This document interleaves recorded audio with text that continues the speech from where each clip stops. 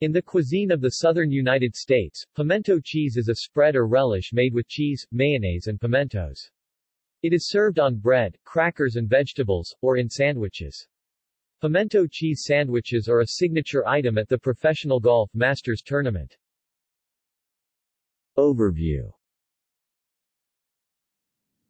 The basic recipe has few ingredients, sharp cheddar cheese or processed cheese, such as Velveeta or American cheese, mayonnaise or salad dressing, and pimentos, blended to either a smooth or chunky paste. Regional ingredients include cream cheese, salt and pepper, Louisiana-style hot sauce, Worcestershire sauce, cayenne pepper, paprika, jalapenos, onions, garlic, and dill pickles.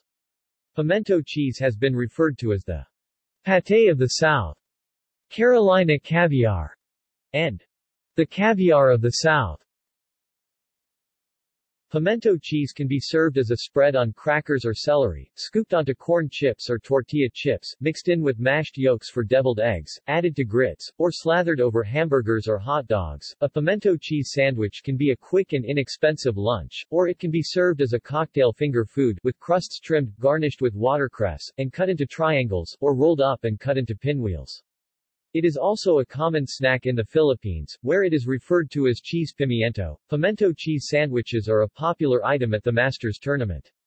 Minor controversy ensued in 2013 when the Augusta National Golf Club switched food suppliers for the Masters and the new supplier was unable to duplicate the recipe used by the previous supplier, resulting in a sandwich with a markedly different taste.